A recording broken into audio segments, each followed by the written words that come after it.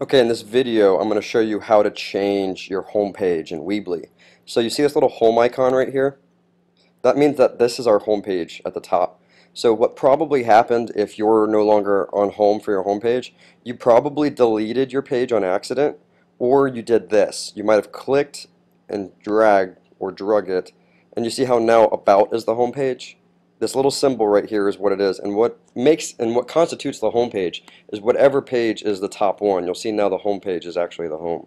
So in order to get a home page back you can uh, click and drag one you already have or if you don't have one because you accidentally deleted it just click add a new page and call it home page and drag to the top. So now you'll see that is our new home page so that's what it takes. Uh, that's how you can fix the problem. I'm going to delete what I just created and make sure my home page is back to home. There we go. Alright, that's how you fix your problem.